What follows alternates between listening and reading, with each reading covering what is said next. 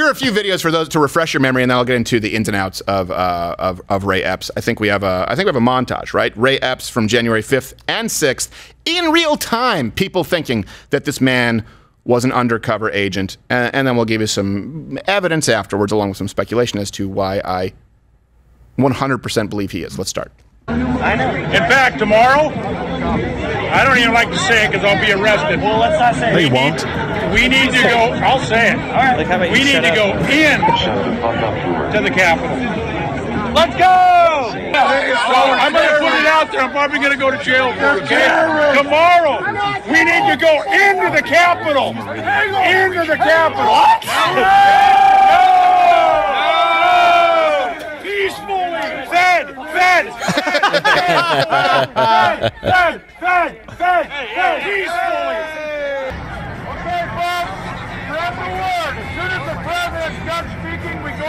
Capitol.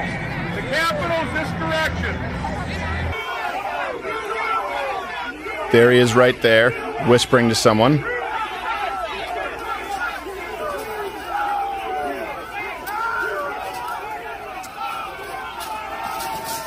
Okay.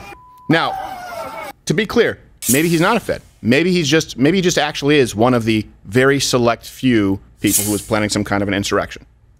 That would be a totally valid theory. Right, If you yeah. watch those initial clips, you would say, okay, seems like it's one or the other. Either this guy is uh, somebody who is causing trouble, or he's someone who is trying to, uh, unfortunately, uh, guilt by association, everybody else, memory hole people, you know, gaslight people, uh, and have you believe that everyone else was being violent when it was really someone like him. It's one of those two conclusions. Either he's a Fed, or he's actually an asshole. Now, let me present to you why I think that he was an undercover agent, because we've seen what's happened. They've made examples to more moderate assholes like the QAnon shaman. Yeah, Right? exactly. Okay.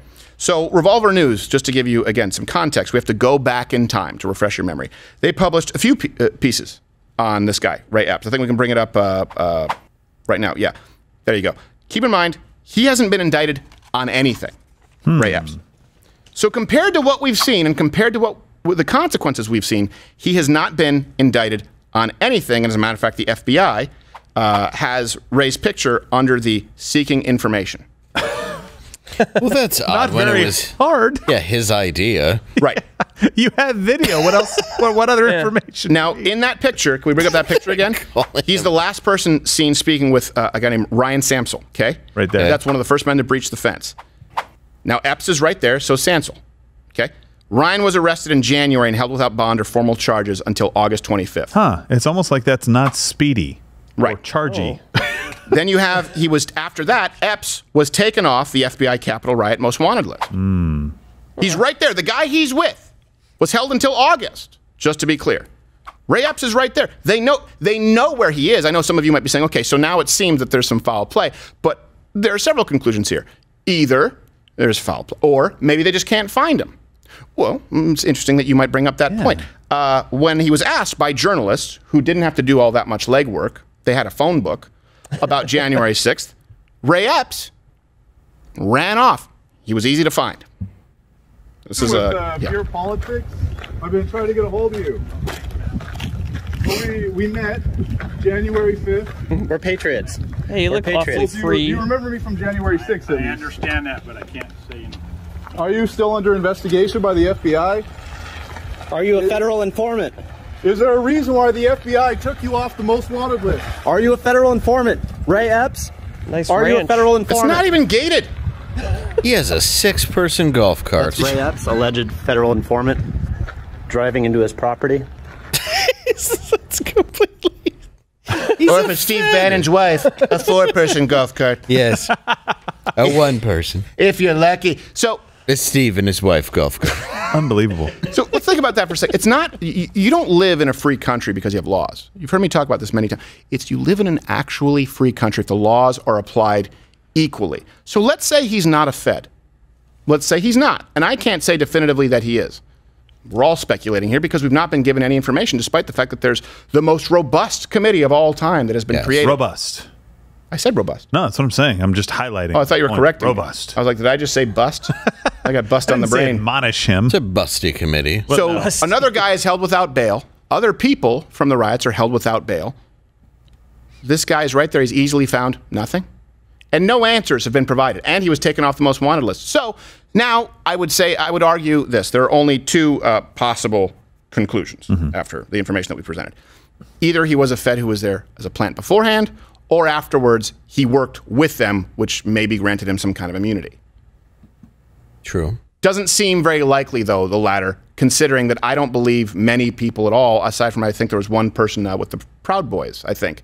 Uh, not many people have been granted immunity at all if they happen to work with conservative groups. They want scalps. That's what they want. Right. That's all they have are scalps. They don't have evidence of real violent crimes, so they're looking for scalps. So if this guy afterwards said, you know what, I'll, I'll, I'll work with you for immunity, based on the history of the Democratic Party, I, I can't imagine they would take it. Yeah, somebody in the control room. I believe that uh, one. It may it was either Jim Jordan or somebody else was questioning somebody on a committee about Ray Epps, and they kept shutting him down. Was it Massey that Red did it? Massey was. Uh, yeah, see if we can find some video of that because they're I got questioning about who Ray, who's this Ray Epps? Yeah. like that's I, that's insane. I, it's hard to pull out any information on Uh, this. Tim said he has it. you have it?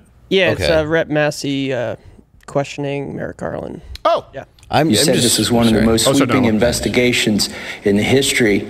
Uh, have you seen that video or those frames why from is that your hair a video? sea urchin? So, as I um, uh, said at the outset, uh, one of the norms of the Justice Department is to not comment on impending investigations, Really? and particularly not to comment about uh, particular scenes or particular individuals. This Why are case- you here? I, I was hoping today to give you an opportunity to put to rest the concerns that people have that there were federal agents or assets of the federal government present on January 5th and January 6th.